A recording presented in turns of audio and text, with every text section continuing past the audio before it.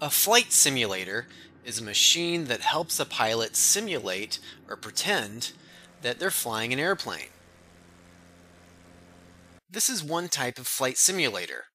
It has a computer and airplane controls. We can use the flight simulator to learn what pilots do in real airplanes. We're going to simulate a flight in a Beechcraft Baron. This is the view from the pilot's seat. These are the controls. The yoke turns left or right, forward or back.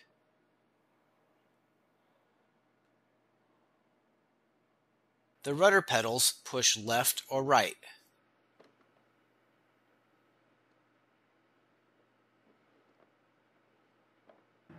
This is the throttle lever.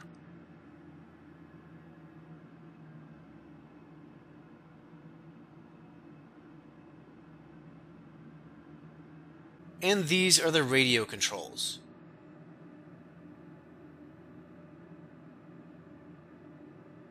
We're going to talk about each one of these while learning how to fly this airplane.